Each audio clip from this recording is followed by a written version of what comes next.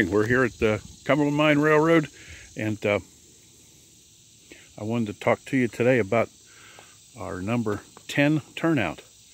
And uh, this is the turnout. Obviously, this is a switch, obviously.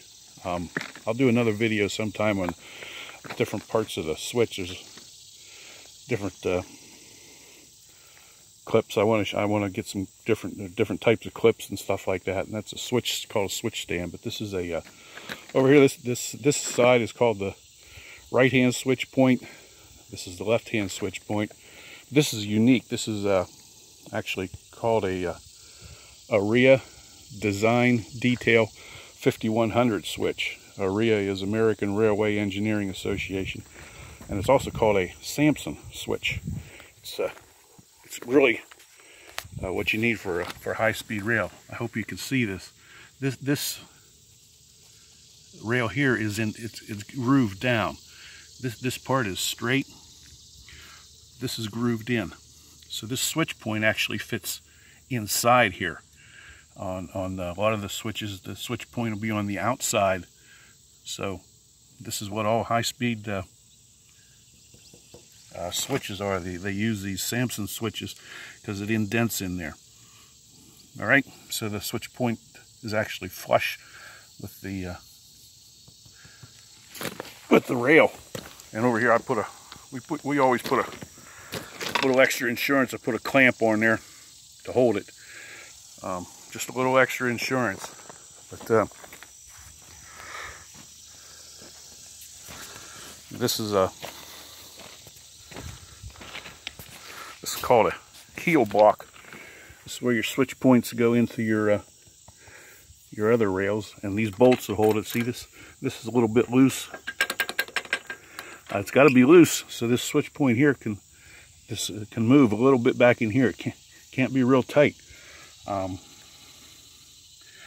A&K 132, 136. A&K is a railroad supply company and uh, it's 132 or 136 rail this uh, heel block will fit on. so uh, here's the rest of the parts of the of the turnout. Through the turnout, from down there at the end of the switch up to the end of the turnout. Um, the main line is called the parent rail. Once it gets past the through the turnout, then it reverts back to main. The uh, rail into the siding here, we have a siding.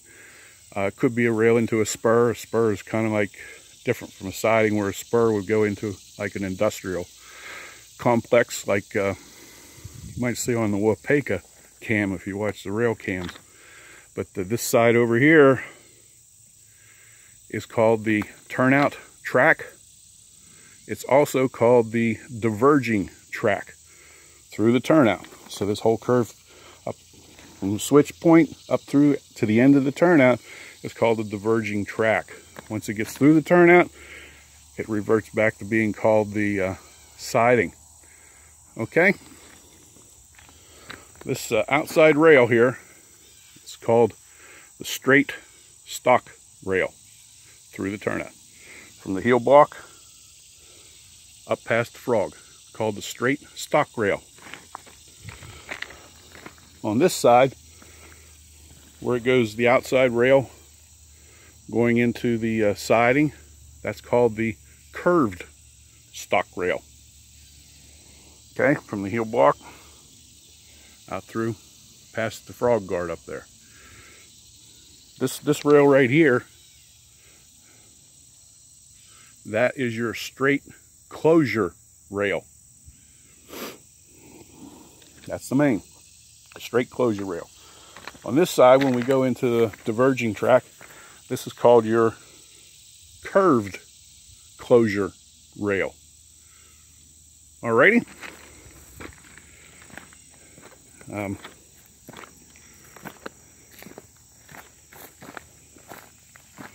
take you up here and show you this uh, number 10 frog.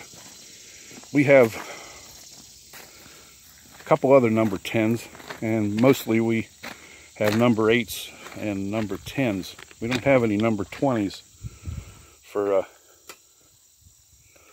so that's a number 10 frog. The turnout number gets its uh, designation from the number of the frog. And uh, this little thing right here, you can see that's where it's stamped in from A and K. That's also by A and K. It shows you the number.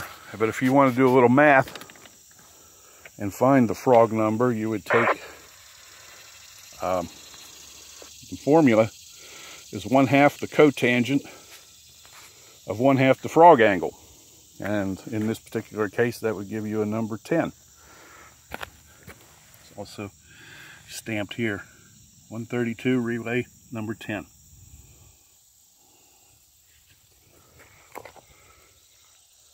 Um, here's another a little bit of information. 10 feet out, these uh, two rails are one foot apart. 10 feet out. If we had a number 20, you would go 20 feet out and the rails would be one foot apart. And the uh,